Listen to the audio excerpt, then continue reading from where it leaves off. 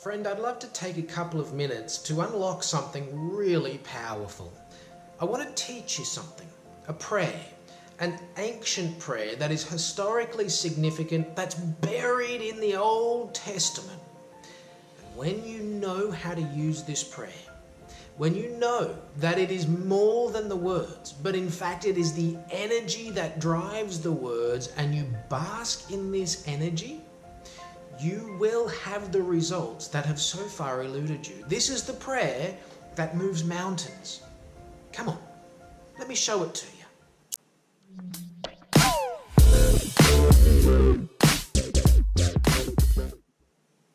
Well, hello there, you blessed, radiant, luxuriant, beautiful, wonderful, heavenly soul. I love you, and that's how I love to think of you. So I'm thankful for you for your company, for your uplifting comments, for your kindness, for your love. My name is Ben. This is Elevate, and you'll find me here every day, encouraging you, showing you how to come up higher, talking about manifesting your very best life.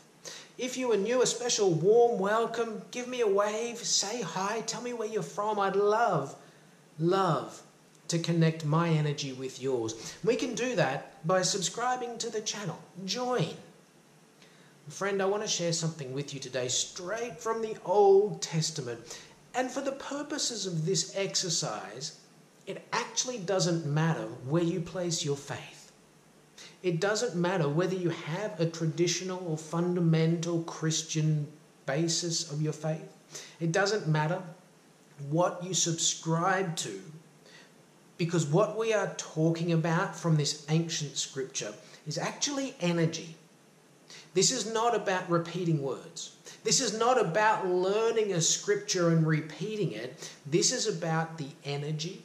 It's about sitting in the pocket with that energy and flowing with it. Now, Rita, I already know you are going to love this. We've spoken about this before. But for the rest of you gorgeous souls, let me share this with you. This is known as the prayer of Jabez. You can find it in the Old Testament. I'm reading from the New King James Version today, and it's found in the book of First Chronicles, chapter 4 and verse number 10. Have a listen to this. Jabez called on the God of Israel, saying, O Lord, that you would bless me indeed and enlarge my territory, that your hand would be with me and that you would keep me from evil that I may not cause pain. And then it goes on to say, So God granted him what he requested. Imagine that. Imagine having a hotline straight to the throne room and making a request as wild and outlandish as, Oh God, that you would bless me indeed, that you would enlarge my territory. Are you bold enough to pray a prayer like that? You know, we pray for specific things. We say, Oh, I'll, get rid of this headache for me, or help me to get this outcome at work. And even the big things. But are we bold enough to stand with Jabez and call on the divine and say, Oh, that you would bless me indeed? That you would enlarge my territory, that your hand would be with me, and that you would keep me from evil so that I may not cause pain. Now, that's really important because so often we don't consider the fullness of the picture of our dream. But what you manifest and what I seek to manifest doesn't just affect your world and mine, it affects the world of so many people around about us. And the root of the energy of this prayer is in two things. It's first of all having the boldness to stand before the divine and say, Here I am, would you show up for me? Would you bless me right where I'm at? Would you command the blessing indeed? Would you enlarge my territory? That's not about putting on weight or having a bigger home or a bigger block of land. An enlarged territory is a growth, an exponential growth in all that you reign over. It's your finances, your relationships, your love. It's all of these things. And it is the energy of being bold enough to recognize that God is not floating in heaven on a cloud, holding a scepter and staff and looking down upon his creation and judging all of the earth. That is not who and what God is. That is not where God dwells. Time and time and time again, we read from the very scriptures and it tells us exactly the place where God lives. It tells us where the kingdom of heaven is and what it's all about, and yet somehow we still have this antiquated view of a divine being judging the earth floating up somewhere on a cloud. Friend, if your body is the temple of the Holy Spirit, then tell me the place that the Holy Spirit dwells. It dwells in its temple. Your body is the temple of the Holy Spirit. Jesus said, Behold, the things you have seen me do, you will do in greater, for I will be with you. See, it is your body that is the temple of the Spirit of the divine. It's not somewhere up floating on a cloud. You are intrinsically and intimately connected with that energy. When you recognize that it's already inside of you, that that power is not external to you, you can show up for yourself and you can say, Bless me indeed. Here we are. Let's see it in large territory. Let's look around at the landscape and the lay of the land, and let's see this baby expand. But the second part of the energy is equally as important, and it's simply found right at the very end of this verse, and it says this that you would keep me from evil. Now that's good, isn't it? We all want to be kept from evil, but listen to the end of it so that I may not cause pain. Would you keep me from evil so that I may not cause pain? How often have I, how often have you, my beautiful friend? Now let's be honest with ourselves here. How often have I, how often have you sought, prayed, and wanted to be protected from evil for the goodness of ourselves? We want we want mercy for ourselves and yet somehow we want justice for everybody else. I mean, have a look inside of your own heart and see if there's evidence of this. Don't beat yourself up. Be loving and gentle with yourself and recognize this is the space in which you can move forward. This is the space in which you can finally free yourself and shift from the person you are into the person you know you are being called to be.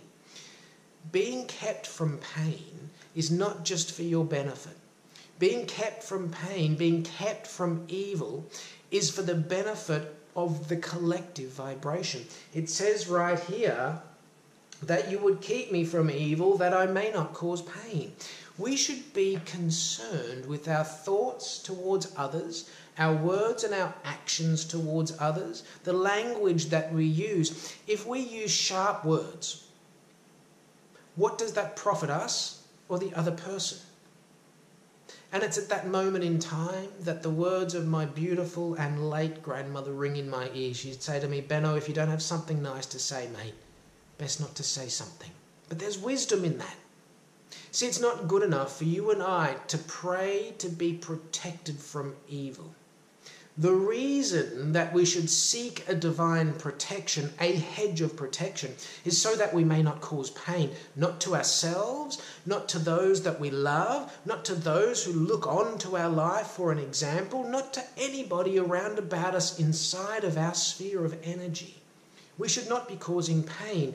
If you speak a word that is going to cause pain, then a closed mouth gathers no foot should be your portion. Now, don't beat yourself up.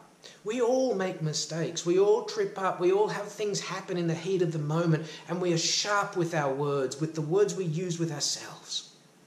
We are sharp with the words that we use when we address other people. Friend, it's time to come up higher. It's time to let go of that energy that will only ever keep you anchored to where it is that you are when you move forward, you recognize that you can stand boldly at the throne and make a declaration and say, Oh Lord, that you would bless me indeed, that you would enlarge my territory. It's good to have that boldness. That is the boldness that makes the divine stand up, incline its ear and say, Oh wow, there's energy moving here. This person's got it. But that's only one piece of the puzzle. It all comes together when you recognize that in all of this journeying, the key here is not just being preserved from evil, It's being preserved from evil so that we may not cause pain. Now, for the times that we do cause pain, for the times we use sharp words, for the times we have a loose tongue and let it slip, for the times our actions speak louder than our words and they are hurtful, forgive yourself and forgive that person. Move forward quickly. Don't bask in that energy. The beautiful thing about the divine is that not only is it inside of you and inside of me, but it gives us endless opportunities to pass the small tests. Imagine back in grade school and you got an English test and you failed just by one point. Now imagine if your teacher said, I know you can do better than that. I believe in you. So here's what we're going to do. Here's another go. You get to have this test again. See how you go this time. I love you. I'm proud of you. I know you can do it. Imagine what a difference that would have made at school. And yet, that's how the divine treats us. It says, hey, listen, I know you slipped up. That's okay. It's time to come up higher. I know you can. I believe in you. Let's move forward. Let's pass this test together.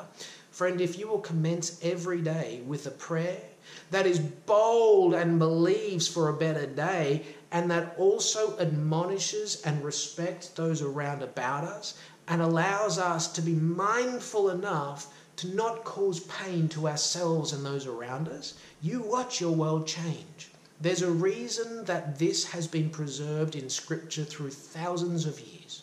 My encouragement is make the word personal to you and start making it the meditation of your heart. And then tell me what happened. Now, I love you and I'm thankful for you. I pray that this has blessed you today. Would you make sure you subscribed to the channel? Come and visit with me again tomorrow, too. Peace.